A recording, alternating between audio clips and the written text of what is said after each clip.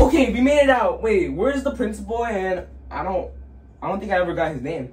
Uh, the principal just left uh, because he didn't want to deal with any of that stuff. Uh, I don't, I, I don't think we ever got his name. Actually, you're right. I don't know. I guess it's just us two. Wait, what? Feels like we're forgetting someone. Help! Nah. Yeah, you're right. So, what do we do now? Uh, I... Miss me? Nah, not really. Wait, Brian, did you change clothes? Yeah, that's because we haven't made an episode in a while. What are you talking about? I don't care and I don't want to know. I'm gonna explode the entire school. You're not gonna do that, right? You have 10 minutes.